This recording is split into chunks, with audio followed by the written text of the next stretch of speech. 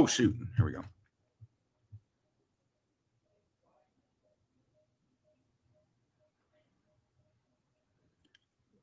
Welcome to Crosstown Cardboard episode 72. We're calling it Culture Collision Recap Part 1 because we're planning two parts and a triple for our third with Big Ken since we all three attacked Culture Collision together. But how rude of me. I should have introduced us first. That's Craig at New York City Sports Cards, the math teacher, the soccer coach, originally from Long Island, now in New York City. And then me, Carmine at Carmine's Cards from Westchester County, New York, Ossining. And now I'm a sports storyteller down here in Greenville, South Carolina. So, just to give you a quick table of contents, we're going to start off going through our experience. Craig and I set up as dealers along with Big Ken at Culture Collision in Atlanta, the first time either one of us went to that show. Very interesting and unique, and we're going to get into that. And so we're going to talk about our 10,000 foot view of what Culture Collision was, the vibes, the people, the atmosphere. We also saw Luka drop 73, which was amazing. We'll have to talk about that. And then we're going to go through Craig and I's second deal together ever, which the first deal was really how we met initially. And then look at us 72 episodes in to a sports card podcast. And then Craig had this great idea to go through the first team all culture collision team, which is basically just some of the best people we met at Culture Collision and the stories attached to them, which of course is attached to cards. So, Craig, first of all, I know it's a, a couple, you know, days after. Actually, it was just yesterday we were there. Just one day. It was one yesterday. day. Just one day ago. It feels like a lifetime ago getting back to the real world after a, a card spectacular for three days. So, how are you feeling about the show now and your 10,000 foot view, your vibes of it? I feel really good about how everything went this weekend. It was first time you had done it before, but my first time setting up at a show, and to be expected, time just flew by.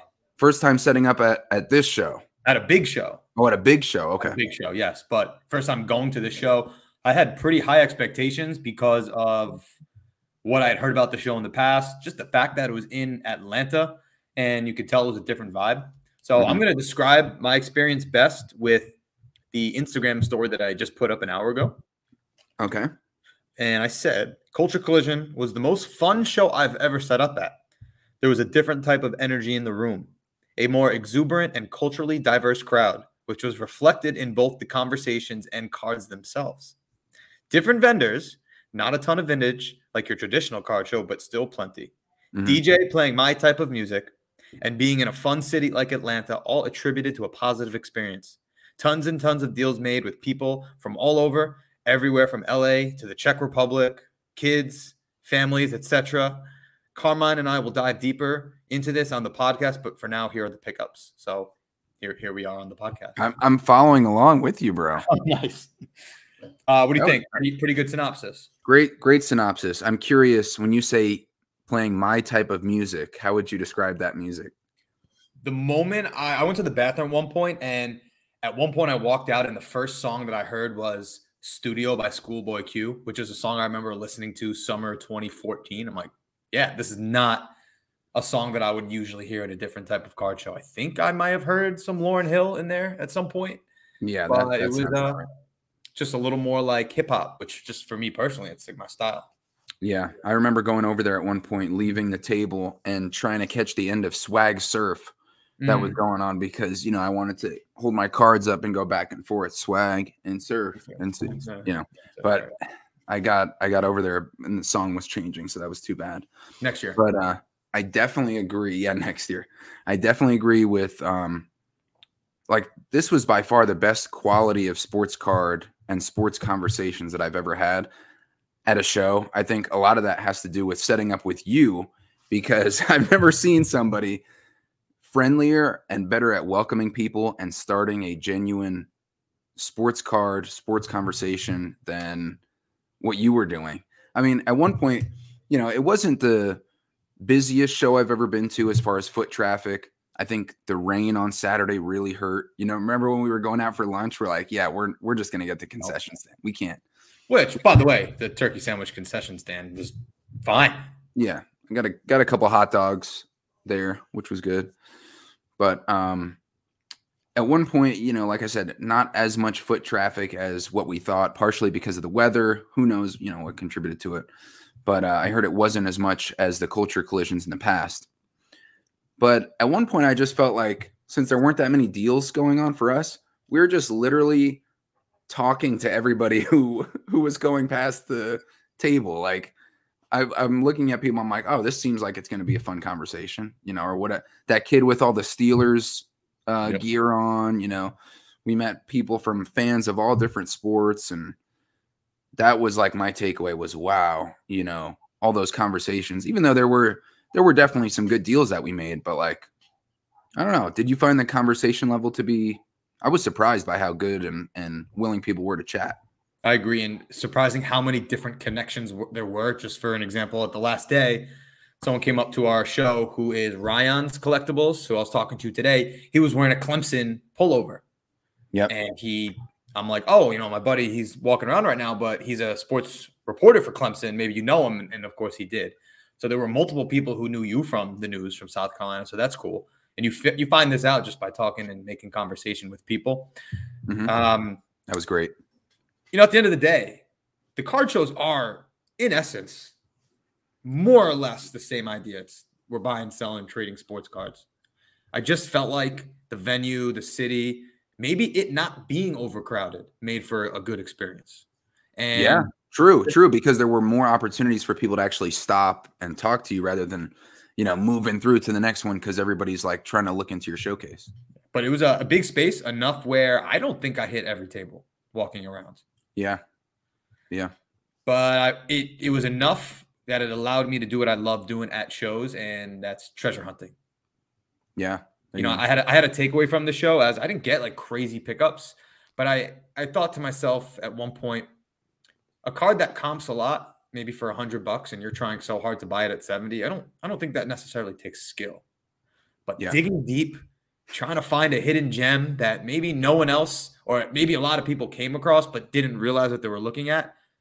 But me uncovering that gem, that's the thrill for me, at least as someone walking around. Yeah. As the person behind the table, in let's call it two days because the first day was a wash. I think I made 30 transactions. And how fun is it? Just the idea that here's a complete stranger coming up to your table and you and the stranger are able to come to some sort of mutual agreement whether you're buying, selling, or trading. And as our guy Sam says, that's just like the value of human capital. I was thinking of what Sam was saying. Uh, and by the way, if you want to check out a cool interview, we had him on way early. Um, you know, he's also a teacher, but the human capital, I was telling myself that I was like, how successful was this trip? And way more than the money and the deals, which, you know, coming away with cool cards was definitely right up there but the human capital like you said of just like restoring your faith in humanity too because sometimes you get so jaded like if you're you know watching the news or you're hearing about bad stories and then you have like 150 quality conversations with complete strangers like you said and and i felt like because it was like culture collision people at some points had like more style with what they had like you know, for example, I picked up a lot of pop century, like uh, pop culture autographs and stuff, which we're planning to get to in part two of our recap. So, you know, we want this to be more like 10,000 foot view, overarching experience, and the first team, all culture collision, more about the people. And then part two to be more about the cards. So, but I'll mention this one because I found this this Angel Reese at a uh, at one of the trade nights. Angel Reese RPA, basically from uh, you know, she's the LSU All American women's basketball player. Huge NIL deal. She did the "You Can't See Me" to Caitlin Clark, which which I thought was actually nasty. I didn't like that she went over to her and did the "You Can't" like right in her face. It's different than somebody walking past you in a timeout. You're such a but, good sport, Carmine. Thank you, thank you. But that doesn't change the fact that I love her attitude. You know, even though I didn't like that particular move, I respect that she's you know intense, kind of like a Dennis Rodman feel to me. And I got this autograph with a patch from the inside tongue of one of her shoes. You know, it says the size and everything. Just like a unique, like you said, you know, finding something that you think is a treasure. Like I thought that was so cool, you know, and was able to trade a Michael Vick card for it, and I got like fifty dollars of cash out of it in Atlanta. Trade the you know. So if you're looking for the positive stories, you know, like the Atlanta Falcons connection with Mike Vick, you're in Atlanta, find a hidden gem. There's just so many like cool moments that happen at shows like this, like destination shows that make you feel like, oh, that was cool. You know, it can kind of like give you a little a little dose of fun, you know, when you rethink about it. A little dose of fun. It was a more than a little. It was a lot of fun. Oh yeah. Oh yeah. But so let, let let's talk about our uh one one of the fun things which was our second ever deal. Yeah. We made a trade, you and I. So the way this went down, you and I made a trade. I think it was actually almost two years ago to the date on Facebook. It, it involved uh, me trading you away a Kevin Durant autograph, and you traded me back a Michael Jordan rookie sticker. We chatted over the phone. We stayed in touch ever since. Yep. Here we are, 72 podcast episodes later. Yeah. We haven't made a deal since then, but it kind of just worked out because I had a couple cards you liked Mm-hmm. And you you owed me a little something for the Hawks tickets and the table fee. So I'm like, you know, what, come right. on, I don't even want I don't I don't want your cash. Let's use that towards a deal. Yeah, I I, I really appreciated that you, you know, worked it out. But look at all the different uh, currencies we were combining into one: actual cash, uh, card show credit, and ca- cards themselves, and we made a deal happen. Yeah, that's crazy. I didn't even think about it like that, but you're right. Three different currencies, basically. So let, us run down that deal. Real simple. Um, you, I gave you 200 cash. Yep. I gave you the, it was $167 that you owed me to cover the costs. And what were the cards that you got from me that you liked? I got these three right here. This Joe Namath old school autograph. What's the set on this? It's uh, upper deck upper game deck. game gear autographs. Sorry, 2001 you said? Yes. That's great. You know, almost a 23 year old card, this Marshawn Lynch game used patch, and the card that I said previously on Crosstown cardboard, so you can check the records, that I wanted to get this Derek Jeter game used patch off of you just because the patch was so great, old school looking card. Um, and I was able to do it. I think when you suggested the trade and the you know covering the table fees, that made it very easy and um, yeah, it was simple. So, can you is that is that Jordan? I know you were debating at the time. Is that going to be a PC card? It is, yes. And by the way, before we get into what you traded me in return, okay, the Marshawn Lynch patch that I traded to you, there, there's levels to this. Yeah. You remember the guy came over and he really wanted that patch card. He's from Buffalo. He's a huge Bills fan. Yep. And you happen to be wearing on that third day a Buffalo Bills t-shirt that you got from me so the, the, the levels of just like card happenings here, you can't make yeah. this up. No, that was that was great. I even got a video of that on uh, what we're going to put out in two parts of a vlog. So we're going to have a video recap, which I'm going to be working on shortly after this podcast episode drops. So make sure you check that out. It's going to be on the Crosstown Cardboard YouTube. We'll do two parts of the vlog. Me and Craig mic'd up. We got other people mic'd up to tell their cool stories and card coincidences. We got somebody from Shanghai, China, who had, I'm not going to spoil it, it had a card connection and it was crazy. Mm-hmm. So definitely check out those vlogs. I think, I think, you know, people will like them. They're going to be unique stories as well. Sure. Um, but back to our deal, the cards you traded back to me, these two were just kind of to make the numbers work. Bernie Williams, flawless, or National Treasures, game worn jersey. Yep. I like this because Bernie Williams and I share a birthday. There you go. There you go. And uh, Bernard King Ultimate Collection. It is a Knicks patch, but it's on a Bullets uniform. I'm not quite sure this one is PC, but I still like it. Yeah, that was like a eh, so-so. It was kind yeah. of a. And the card that I'm keeping is 1999, 2000 Upper Deck NBA Legends Michael Jordan game worn jersey. And it's funny, I put this on my Instagram story today. This card is roughly valued around 500. You know how much of Justin Herbert? Well, last sale 600. There was a PSA 8 that went a little lower yesterday. Five, 550? 550? No, it, it, was under 500, but whatever. Oh, it's okay. okay. okay. all good.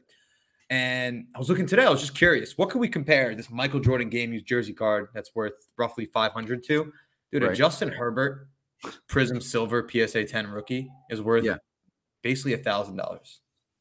Wow. So would you rather a, a Herbert silver prism or two of these? Well, not if I'm. I mean, it depends what you're doing. A flip or a. yeah, no, I know, I get it, but you get what I'm saying. Make it make was, sense. even if I was flipping though, I'd rather have two of the Jordans. I mean, because yeah.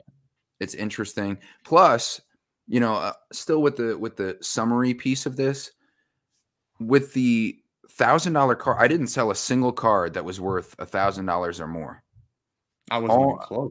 Well, I traded. We'll get into that maybe next episode. I what I traded off of like a twelve hundred dollar card, but the biggest card I sold for cash was my Gronk uh, white box one of one, the uh, National Treasures, and it was an inscription. You know, Gr- Rob Gronkowski and then Gronk, and I sold that for eight hundred. I bought it at the National for six fifty. So Nice. that was my biggest. What was your biggest sale? Do you remember? Hmm. I have it all here.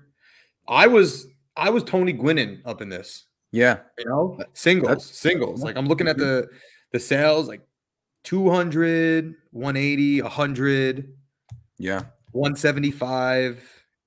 yeah. You know, just just singles, I- singles. Tony I was Gwynn. I was Tony hitting Gwynn. I was hitting that range too with my purchases. Like the most expensive card I'm coming back with, which I won't reveal yet because we'll get to our first team all uh, culture collision, was probably like a six hundred dollar card.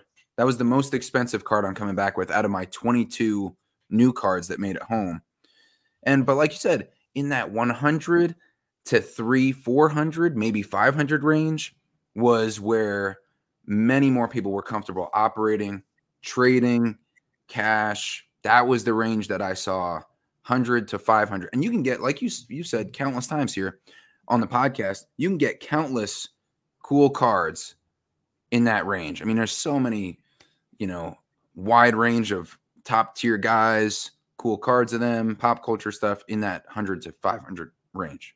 for sure. And look, I I stuck to my guns. The guy the guy next to us in the Detroit Lions jersey, Uh-huh. he was saying he's like, "Oh, Friday, you know, it was the best best show I've had. You know, it made eight thousand dollars. Like that's cool. Cool. I didn't ask, but um, we just, I didn't say that. I didn't say that. But we were just talking about like the types of cards we have, and he was he was like, "I'm selling a lot," and I'm, and I was looking at a showcase, and he's got all this ultra modern stuff, and he's I'm like, "Yeah, man, it's just like you know, not the type of stuff that I like." And he's like, "I like money." I'm like, I like game use patches, so you know. hey, and listen, if that's what you are in the hobby for, then, you know, more power to you. I think for us, that's a little bit sad because they don't get the enjoyment of the actual cards themselves, the cool stories. They're not looking for the connections as much. They're looking for the connection between cash to the deposit thing in the ATM. That's the connection they're looking for. And the I- I- yeah, sorry, I heard I heard them say that. Yeah, the cousins they they had a great thing about you know what you do the hobby for. Is it money or is it meaning? Actually, they didn't say it quite like that. I phrased it like that. I don't want to give them credit for what I think is a cool phrasing because we've stolen their stuff before. You know, have communi- communication is lubrication, stuff like that. So, what were you going to say? that a lot. I would. I don't know about you. I don't think I sold a card to anyone, or maybe I'm sure we did, whose like idea is to let me buy this at a good deal and go sell it over there. Like it seemed Yeah. like a lot of the trades and sales were genuine. I mean, perfect example. I'm just looking at my my records here. I sold this Son, who's the South Korean soccer player whose cards I keep picking up. I had his Mhm. uh like match ball autograph from Merlin, and there was this young kid coming around here. I asked him why he likes Son. He's also he was also Korean, so they share a culture. And he's just building up his Son collection. So I was able to sell him a Son autograph card, and I know that was going to a kid who like really loved collecting him. So those are the I think more the types of sales that and trades that we were doing. Yeah, from one son to another son. How thoughtful of you. So no, but you're you're you're really right in that range. Hundred percent agree. That was what was going. I did sell. I had an excruciating deal with this one kid, um, who was definitely reselling my card, which is great for him. And he told me like, I need room on this. I need. r-" I'm like, listen, that's great that you need room. I also am trying. I got to sell the card. Like, I what am I donating? You're not. You're not a nonprofit. you Well, were a four. Some, This some of the kids, some of the kids there think you're there to donate. We'll we'll get into that. A kid who made the first all culture collision. That was hilarious. But this this kid is like this. He's a high school kid. I'm like, you're not a nonprofit. You're a you're a for profit entity. So don't act like you're now the people who were talking about the autistic um, the autistic organization that was helping autistic kids. yeah, that's a donation. I'll buy the 50 50 raffles all day long, you know, which I wish I would have won. Darn it. We also Yeah, had a, a, we also had one where we were um, answering questions from Oh, a I don't- I Fanatics don't- guy. I don't, I don't want to. I don't want to Was talk he about that. Fanatics? Was he with Fanatics? Yeah, listen, we made fools of ourselves. Bro, we had chances to win a Donovan Mitchell signed jersey if I would have gotten that question right. And yours was a Mookie Betts signed jersey. Yep. So, yeah, you know, here we are, sports guys, just striking out 0 for 2. Not very Tony Gwynn of us. And and to add context, someone from Fanatics was coming around and like doing trivia, Right. and we both happened to be selected at different times, and we both got our questions wrong. So I'm not gonna lie though, it, it, it was a it, they were fair questions, but not like a no brainer type of question. You know what I mean? So like, Yeah. I mean, we still should have got it though.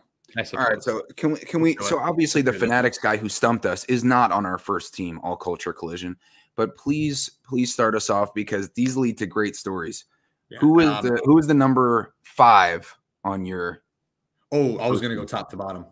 okay, go for it. Go for it. Who's number so one? all, all team first team all culture collision. Basically the the five players players the five people who I would say had the biggest uh, impact on our show. yeah, or they had a moment that was A moment, a moment worthy of telling a story about around cards. And I Yeah. think clear cut number one is our boy Dom, right. the card father 13.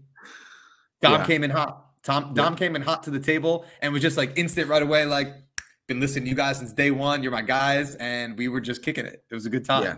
I was so flattered, honestly, the way Yeah. he was complimenting us and referencing our episodes and Yep. you know, good little energy. like it, it was amazing to to see the excitement that somebody else had just from connecting with us over sports cards through our show. It was like it was awesome. It was really Yeah, it was great. He, he came with the energy and he was telling us about a card he really wanted, a LeBron, and he asked us. It was a 2014-15 Fleer Retro, LeBron James, Jambalaya in his Mount St. Vincent high school uniform. And he was asking us, he's Yeah. like, what do you think? Even though it's in the high school uniform, we kind of told him, you know, I think with LeBron, that's still significant. He's a big LeBron collector. And you, being the mensch that you are, you're like, you know what?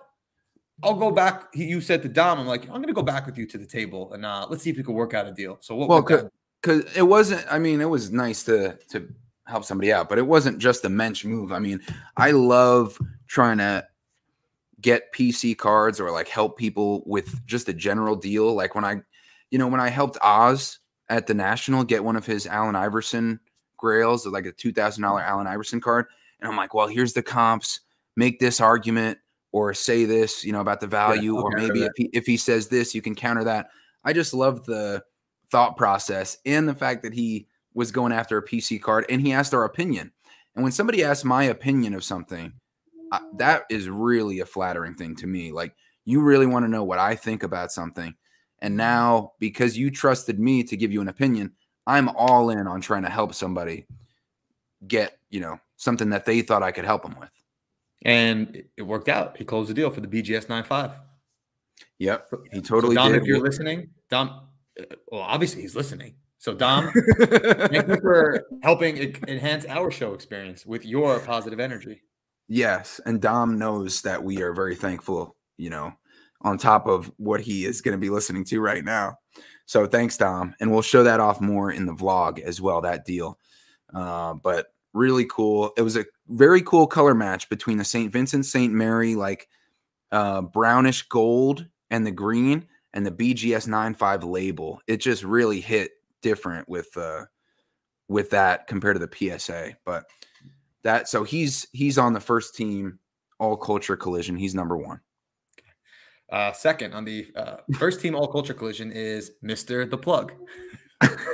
mr the plug yes. Let, let- let me let me premise this by saying, preface this by saying, if you have to proclaim, and I said this to you, if you have to proclaim to others that you're the plug, are are you the plug?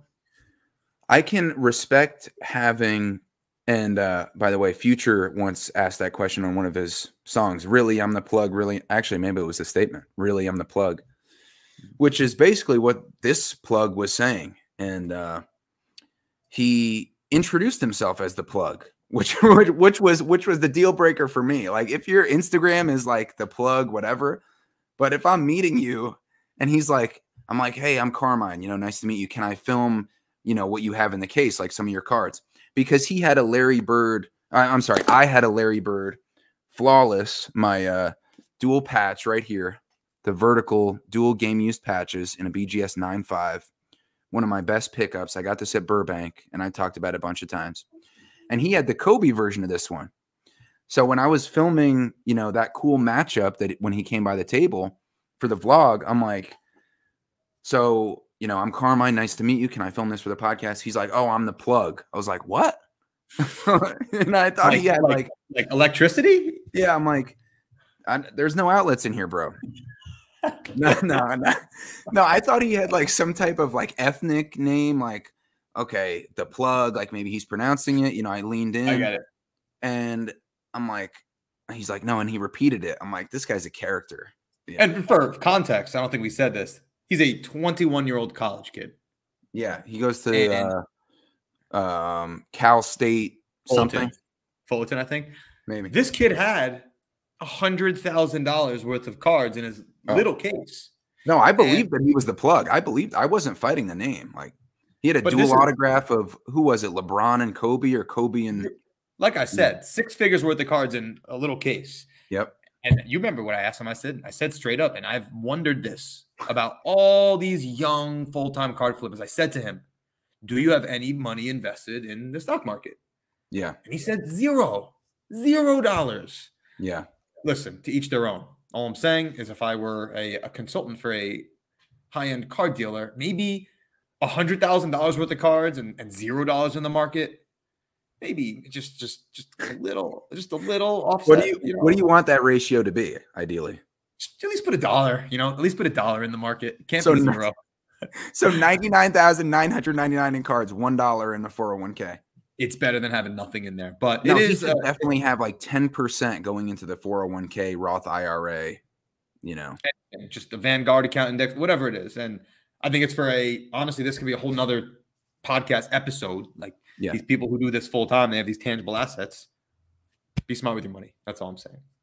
Yes. But it's not it's not like full time and you're making a living off it. It's like full-time kids or young adults most likely still living with their parents or in college. Yeah. Like if you're doing it full time then that's your job and you're Sure. putting food on the table with that then yeah, you know, you need to have that much into it of course, but you know, yeah. And then you what didn't you ask him like how did you get these cards? yeah, I, and he really just said snowballing, which I, I everyone's got their own story. I just, Yeah. I personally, I don't. Living's expensive. If he's able to snowball his way up from zero to six figures worth of cards, more power to him. Yeah. Okay. So he's he's he's the plug. So final ruling. Do you consider him the plug? Ready? On the count of three. One, two, three. No plug. oh, no No plug. Yeah. Listen, you, you got to have at least. He's 21. Give me a few more years until you proclaim yourself the plug. You youngin, you youngin, humble yourself. If he was a little more humble, he'd have money in the 401k. There you go. All right. Um, Number three. right. unplug. So number three is Mr. Firm Handshake. Oh my gosh, this might be my favorite one. This might be my Mr. favorite one because of the because the genuine the genuine miscommunication was my Yeah. favorite part of this. The kids at the show were awesome. Like they they brought they brought the noise. Yeah. So there were just three youngins. One of them liked this Anthony Richardson Vortex Revolution rookie card. The only reason I even have this card is because same thing, the little bit of table fee that Ken owed me. I'm like, Ken, just give me a few cards. Yeah. So this card had a $15 sticker on it, and this young kid must have been 12 years old. You you tell it from your point of view. Well, first of all, he he came over. He also came in hot, and he had a big time energy. Probably yeah, 12, 11 in that range, sixth grade probably. And he came over and he was pushing his bigger friend, and he said, "You made me lose a coin flip." He was like, "You cost me fifteen dollars because my coin flipped off of you. It hit your foot, and then I lost." And so he's like mad at his friend for interfering with the coin flip that lost him fifteen dollars which coincidentally was the cost of your card. And uh there you go. So I'm like, but he could have just as easily interfered with your coin flip and won, you know, like wasn't his fault. So he's like, oh, he owes me $15, whatever. It was just funny originally. And then and then he said, I'll give you a firm handshake for that Anthony Richardson. And you immediately extended your hand, gave him a good firm handshake, and you were like, This kid just freaking stared me down, man. And you were like, Man, that eye contact. You were impressed by his uh, you know, ability to to give you a firm handshake and and you know, stay in there with an adult, hang in there. You know, he was tough. And and then so they're packing up. I'm like, wow, that was generous of Craig to give this kid a $15 card for free just for a handshake. Wow, this guy really loves the kids. What a teacher. Card club. I was like, wow. And then they're packing up. They're getting ready to walk away. They're all excited. The guy's like, I don't have to push you anymore for $15 because I got a $15 card. We're, we're good. We're good. They hash out their beef. And then all of a sudden I hear you. You're like, so you're just not going to pay for that card? And then they turned around and they're like, what do you mean? And I was thinking, what do you mean also? And you're like, well, we shook on it, a $15 card. And I'm like, oh no. I, I think I just said it out loud. I was like, oh, because I saw the miscommunication. And take it from there. Yeah. Um, you running it back in hindsight, I probably should have just given him the card. But it's like there's certain kids who are like you, you're happy to give stuff to. Not that I wasn't happy to give it to these kids. obviously, were, you were. Obviously, you weren't. That's what you're saying is the factor. But I'm saying these, these are a bunch of punk kids. You know, they're they, they don't they don't need my fifteen dollar card. Right, right. You know what I'm saying? Um, but it was funny. It was funny. I think maybe I should have just given it to him because it was my bad. But whatever. At least we have a story to tell about it. Yeah. So basically, you thought that he was shaking on the price tag, and he thought he was getting it for free and a firm handshake. Yeah. Well, miscommunication. What can I say? Communication. Too big. Too big of a card to ask for that on. Ten dollars. No, ten ten dollars or five dollars. Yes. Fifteen dollars. You know, maybe offer ten and a firm handshake. If if I'm if I'm you know. No, in hindsight, I should have just given it to him, but I didn't. So It's still down fifteen dollars. How about that kid's face when when he gave the card back, and then you were like, "Oh yeah," it was kind of just like a. It really changed the momentum of the whole the whole situation. Yeah. Oops! Listen, I, I try to be a stand-up gentleman. My bad on that one.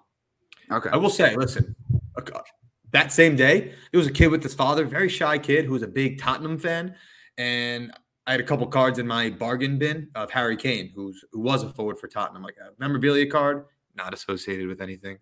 And then some uh some like Prizm parallel. So I took him out. I'm like, here you go.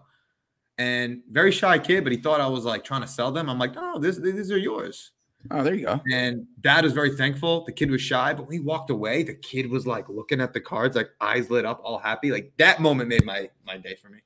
Yeah. So you could have had a second moment like that if you would. Listen, am, am, am, I saying, am I telling that story to make up for the uh, Anthony Richardson handshake mishap? Maybe, but yeah. can't well, change the past now. We need to hire a PR department. We're getting so big with our 370 subscribers on YouTube. But uh, yeah, and and those deals with kids were awesome. I had a Jerome Bettis in person autograph, and I was able to sell it to the kid with the Steelers shirt and the Steelers hat with his dad next to him yeah. And I had $40 price tag. He was like, Would you do 30 on that? I couldn't say yes fast enough to get this kid a cool, you know, Jerome Bettis. Um, but yeah, the kids were very knowledgeable too. Like they were not like, you know, needing to be having their hand held by their parents. Like they were, you know, really operating out there. So yeah, that was good stuff. That's cool. All right. Uh athlete number four on the first team all culture collision. Was it was it the non-subscriber? Yes, the non the non-subscriber, and then we'll do number four. Number four yeah. on the uh, not. Th- this is all, this is this is also. I, I I'm sorry to cut you off, bro, but this was so. This is a story that I think we'll be able to tell for yeah the, the, the whole time we have this podcast. And I and I was only at the show Friday for an hour, and this happened in the one hour I was there. I had a 2002 Pacific update. Michael Pittman, the senior Super Bowl champ for the Bucs, game used patch, the uh, NFL logo shield out of 25. He liked the card. I think I had it stickered at 150. He wanted 80. I said 100. He said 90. And I said to you before the show, I'm like, you know what I want to try maybe? I had this cutout here where people could scan and pay me with Venmo or PayPal. And then I had a separate one that people could scan and it brings them to our podcast YouTube page or Apple podcast page. So I'm like, you know, I'm, I'm going to use this as a bargaining chip at some point where if someone wants a price, I'll give them their price and I'll say, like, all right, you know what? You can have it at that price, but subscribe to the pod. In my head, I'm like, oh, dude, this is going to work easy every time.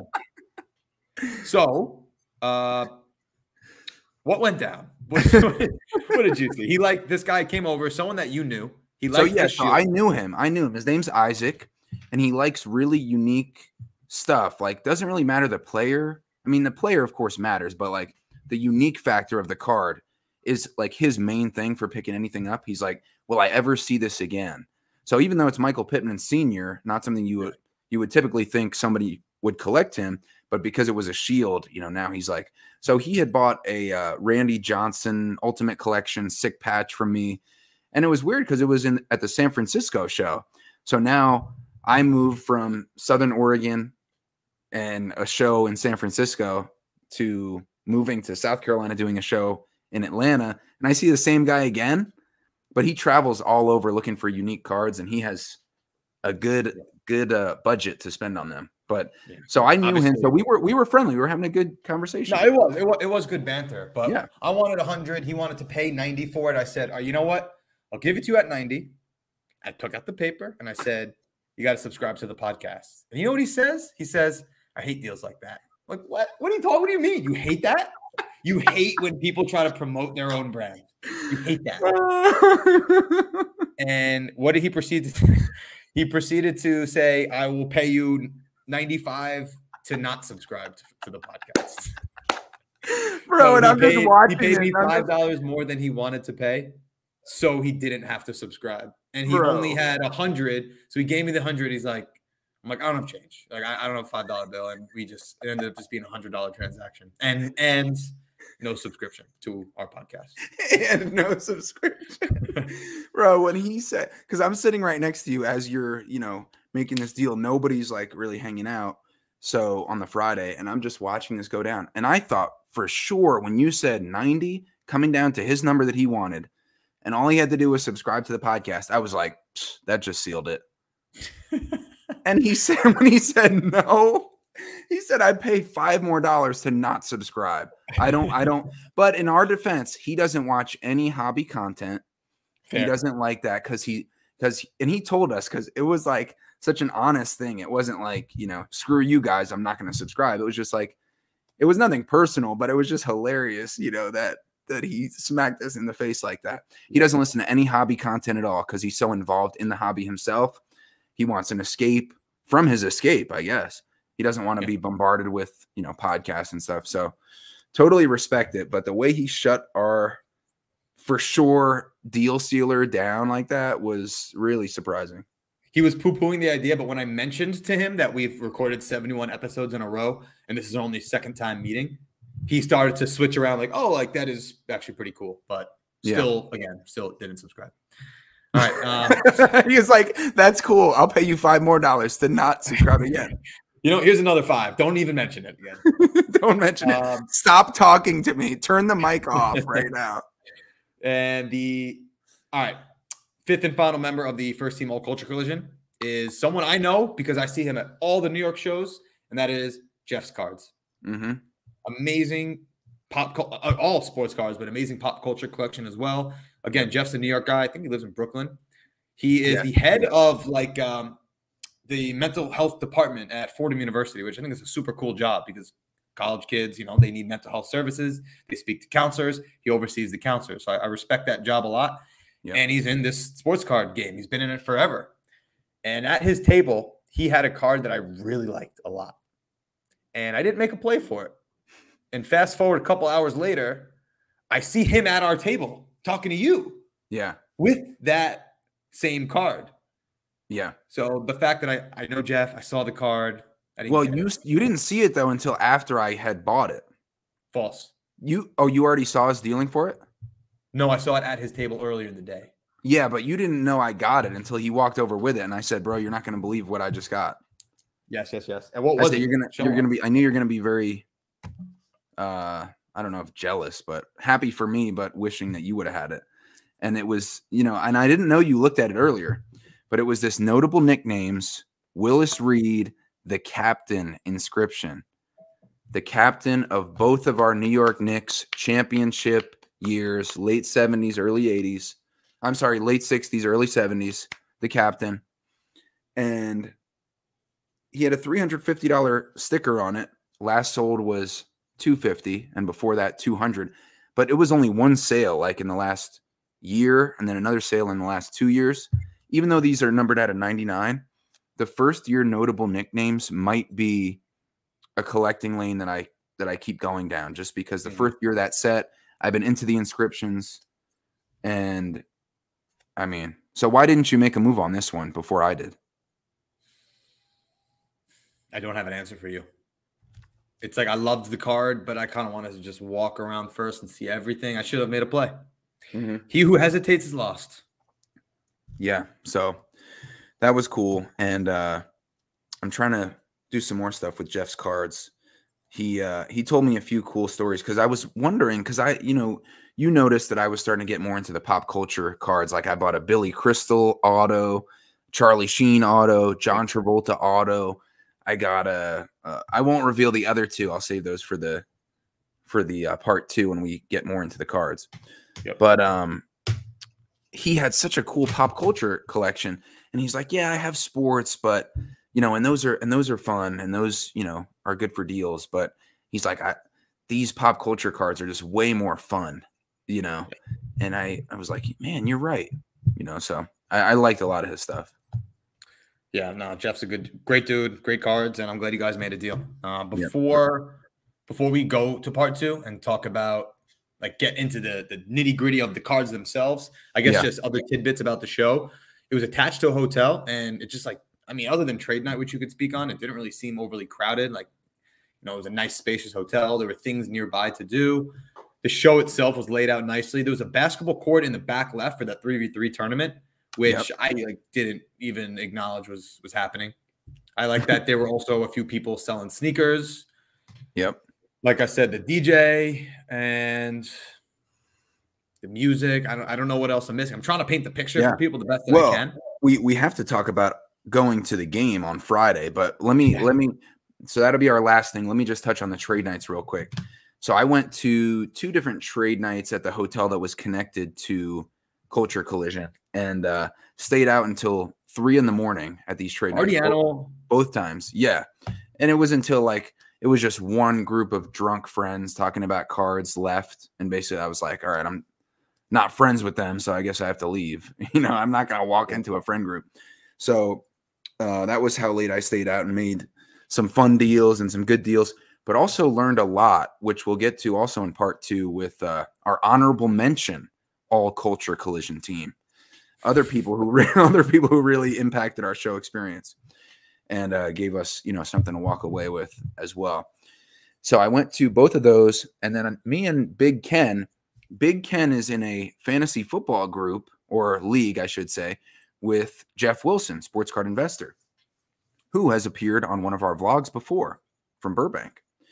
And um, so Jeff, of course, is opening up Cards HQ in Atlanta massive sports card space. They got vertical showcases instead of horizontal, you know, much more. Uh, you can use the real estate much more, you know, standing up and everything. So we went we went to uh, Cards HQ for a trade night they were having after the show on Saturday. We only stayed there for about an hour, uh, maybe even forty five. I mean, it was it was pretty short. Looked around.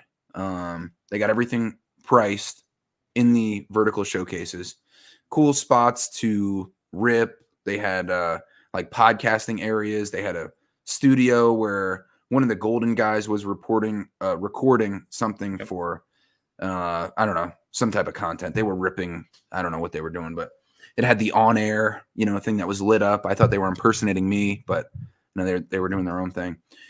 So something cool that happened at that trade night at Cards HQ, in addition to seeing the new space, was uh, I connected with my guy Mark Paradise Card Breaks. He's hmm. a card store owner in Las Vegas, right off the strip. And I had already met him at the trade night on Friday night in the hotel lobby. And I'm like, first of all, this guy's sharp, great communicator, totally knew what he was talking about. He knew his cards, he had cool cards. Um, you know, he had him priced, just seemed like a solid guy. And he told me about his story, which will also be on the recap vlog, about how he just, as a sports card store owner, had his first million dollar month in revenue. Wow. And I was like, damn, bro. I gave him a fist bump. I was like, good for you. That's a lot of money, you know, to be to be bringing in in, you know, sales. And it's almost all breaks. So it's like the shop is secondary.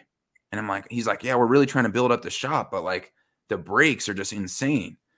So anyway, he ended up buying my Magic Johnson 1992 NBA All Star Game autograph ticket Nice. at Cards HQ. Yeah. So I'll pull up a picture of that just uh, Would you for a uh, would you pay for that one again? You talked about that a couple times ago. Yeah, I paid 300 and I sold it for 400. It's great. Yeah, and to get it to somebody who it's going to be a collectible item, you Yeah. know, that was really cool. Now, did you explain to him the ticket? I just showed it to him. I mean, Okay. I didn't. I assumed he knew like commemorative ticket. You know, Yep. I mean, it's still from 1992 again, No, it's yeah, yeah, yeah. and I and I bought it. You know, thinking that it was cool. You know, cool ticket, 92, um, great condition, auto 10. So he basically told me, you know, that he collects like cool, unique stuff like that, and he also told me it's great aesthetic and great branding for his shop if he were to put it in the shop. Like we really care about the unique, creative, fun element of the hobby, not just churning people out and making money. It adds a flavor, it adds a decor almost and a vibe, A little feel to it zone, if you will. a little sazon on the sports card hobby.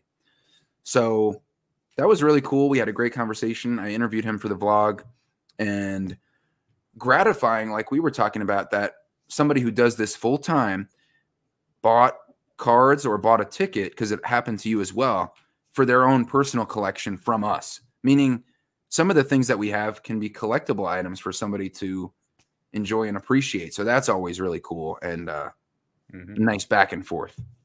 Yeah, and that, that's what's fun about collecting. I think the way we do more unique items. When you find the right buyer for it, you know it's really the right buyer. Mhm. Uh, something, a couple things about the show itself. I want to touch upon. Me personally, as a soccer fan, the soccer participation and just options and choice in the room was one of the best I've ever seen. Yeah. Like relative to the rest of the show. If so, if like five percent of the national soccer, maybe fifteen percent. I'm just throwing an arbitrary number out there of this show was soccer. So as a soccer collector, and that was my biggest sport pickup quantity wise, Mhm. plenty to work with there. Uh, Yeah. I didn't see a ton of vintage, whereas the traditional card show is a lot of vintage. Yeah. Did you find the same? Like there was enough, but definitely just as much as any other sector.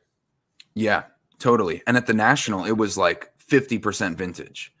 Yeah. From what Yeah. I maybe that maybe that's overly done because I don't really do that much vintage.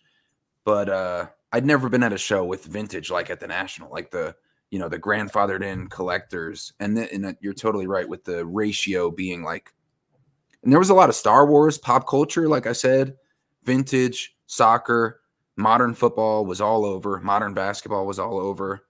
But people did have some cool stuff. You just have to kind of find it. Yeah, there was. Uh, I mean, you know what? We'll save the the card card talk, I guess. The things we saw, the things we got for the next segment. But Yeah. we witnessed history on Friday night. Yes, let's let's make that the last thing we're going to touch on. So you had suggested that we go to an Atlanta Hawks game, and it just so happened that Friday night the Dallas Mavericks were in town playing the Atlanta Hawks. So great decision by you. We got like what fifty dollar, fifty five dollar tickets, Yeah, less. It was like forty five a ticket. bro. Great seats. We were in the upper deck, but we were only two rows back from the front, and we were in the first row that was elevated over the front row people. So we had like an amazing view. So we sit down. We were fashionably late. We sat down midway through the first quarter. right. I'm going to tell you why we were late. No, we were, uh, you know, finishing up the card show. So we got in our seats midway through the first quarter. Luka already had 15 points, and we look at each other. We're like, "Yeah, he's probably going to have a good game tonight. Oh, cool. We're going to see a good game out of Luka." Clearly, we had no clue that it was going to be a 73 point game that only him and three other guys have ever done David Thompson, Kobe, and Wilt Chamberlain a few times. And he had 41 at halftime I think he had like 57 through three quarters. People falling out of their seats, bro, in front of us. The girl in front of us turned around. She's filming. She's like, How many points do you guys think he's going to get? And I'm like, 82. And you're like, 78. You know, and if they didn't double and triple team him in the fourth quarter, he might have.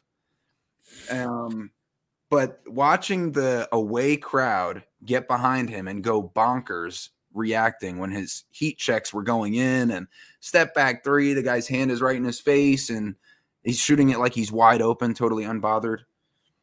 That was an all time. I mean, we may never witness an individual performance like that again. No. I mean, playoffs would be different, you know, if we went to a playoff game, but like a scoring output like that, that's probably a, a one of one in our lifetime.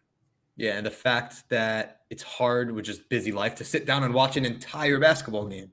But when you're there, you're, uh, you're I'm dialed in, I'm locked in. So to see yeah. that from basically start to finish, the way Luka plays, man, it's like it's not so overwhelming. It's just controlled, and he goes at his own pace, and his ability to decelerate. It's the footwork. It's crazy, and as you'll see in the vlog, I absolutely hated every second of you trying to film us at the game. I hated it. I was so uncomfortable, but I did it for you.